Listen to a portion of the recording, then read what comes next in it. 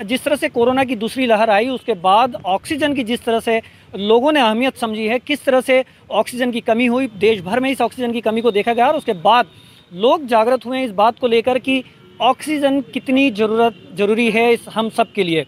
और इसी को लेकर विक्रम विश्वविद्यालय के कुलपति जी ने एक बड़ा अहम फैसला लिया है। जो भी व्यक्ति यहाँ पर आएँगे, वो सभी व्यक्ति यहाँ पर टैक्स चुकाएँगे। ये टैक्स किस तरह से लगेगा? क्या होगा इस टैक्स में और कितने कुछ क्या कुछ इस पूरी जानकारी के लिए हमारे पास हमारे साथ खुद कुलपति जी हैं उन, उनसे बात करेंगे। सर एक टैक्स लगाने की बात की गई है। किस तरह का ये टैक्स होगा? क्या कुछ रहेगा और क्या है इस पूरे इसमें? अभी आप ये देख रहे हैं कि विक्रम विश्वविद्यालय मध्य प्रदेश का दूसरा विश्वविद्यालय है सबसे पुराना विश्वविद्यालय है। इसके पास साढ़े तीन सौ एकड़ का इसका कैंपस है और उस कैंपस में बहुत सारी ज़मीनें ऐसे खाली पड़ी हैं और इसका कैंपस इतना अच्छा है कि यहाँ कम से कम पाँच हज़ार लोग जो है सुबह शाम यहाँ घूमने आते हैं। यदि हम देखें तो एक व्यक्ति जो है सात आठ मिनट में कम से सात आठ लीटर जो ऑक्सीजन एक मिनट में एयर जो है, एयर लेता है और उसमें ट्वेंटी परसेंट जो है ऑक्सीजन होती है। इस तरीके से यदि हम देंगे तो पूरे समय जो है साढ़े पाँच सौ लीटर ऑक्सीजन वो कंज्यूम करता है। यदि यहाँ पे चार से पाँच हज़ार लोग सुबह शाम घूमते हैं तो इस कैंपस की कितनी ऑक्सीजन आप अंदाज़ा लगाइए कि कितनी ऑक्सीजन लोग यहाँ के कंज्यूम कर रहे हैं। उस दायरे में यदि हम देखें तो एक पौधा जो है साढ़े सात सौ छोटा भी पौधा साढ़े सात सौ लीटर ऑक्सीजन दिन भर में बनाता है। लेकिन दोनों की मात्रा में यदि बैलेंस नहीं होगा जी। पेड़ उतने नहीं होंगे कि जितने लोग यहाँ घूमने आते हैं तो आप ये देखें कि ऑक्सीजन इस एरिया की भी तो ख़त्म होगी। उसी को ध्यान में रखते हुए चूँकि कोरोना काल में अभी लोगों को ऑक्सीजन की अहमियत पता चली, एक सिलेंडर जो 10 लीटर का होता है, उसका भी हज़ारों में लोगों ने ख़रीदा। इसलिए हम लोगों ने ये कंसेप्ट स्टार्ट किया है कि नेचुरल इंडस्ट्री ऑफ़ ऑक्सीजन तो जो ये नेचुरल ऑक्सीजन की इंडस्ट्री है इंडस्ट्री में भी हमें इन्वेस्टमेंट करना पड़ता है। तो मेरा एक ये थोड़ा सभी शहरवासी जो यहाँ घूमने आते हैं मेरा अनुरोध है कि एक एक एरिया को वो ले लें। टैक्स का मतलब ये नहीं है कि वो घूमने आते हैं तो उनसे पैसा लिया जाएगा या कुछ ऐसा नहीं है या उन्हें यदि वो स्वेच्छा से नहीं इसमें पार्टिसिपेट करते तो उन्हें मना किया जाए, घूमने से ऐसा भी नहीं है। लेकिन इसका उद्देश्य है कि कोई भी जो आता है, वो अपना एक एरिया इस विश्वविद्यालय का ले ले, जहाँ की पौधे लगाए और पौधे को संरक्षित करें। ये नहीं कि अभी मैं देख रहा हूँ कि इस कैंपस में रोज़ कोई ना कोई आते हैं और वो पौधे लगा करके चले जाते हैं। वो पौधे यदि आप देखिए तो सूख जाते हैं, जानवर खा जाते हैं।